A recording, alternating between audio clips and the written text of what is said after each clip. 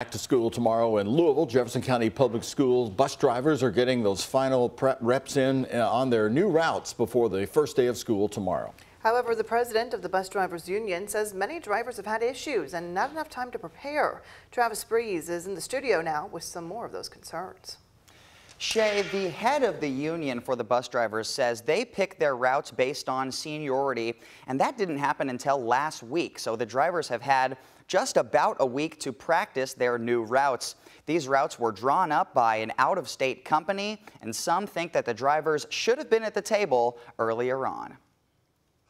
Well, I'm fearful. Fearful. That's the way John Stovall is feeling as his drivers prepare to mount up on Wednesday. You can sit in a building at VanHoose or CB Young, and you're an administrator, and you kind of get in your safe confines.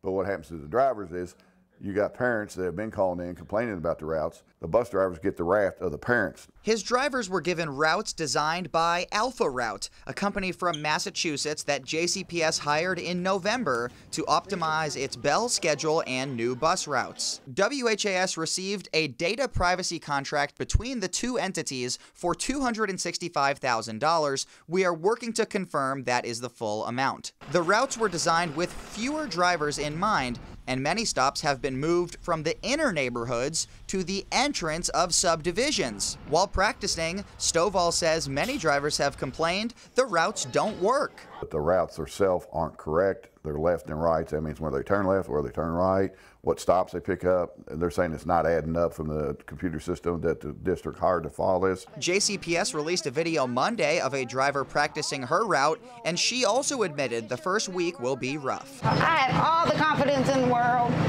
that everything by the second week of school, everything is going to be smooth. The district sent us a statement today saying in part, quote, our bus drivers are doing a tremendous job getting ready for the new school year. We know all change comes with difficulty at first, and we expect to have to make some adjustments to transportation throughout the first few weeks of the school year. They had to make a change. We all know that.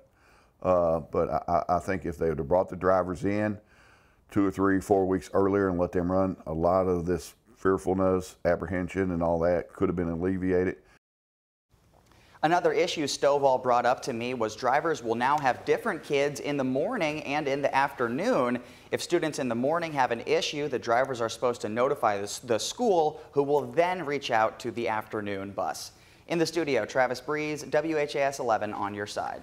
All right, Travis, thank you very much. We'll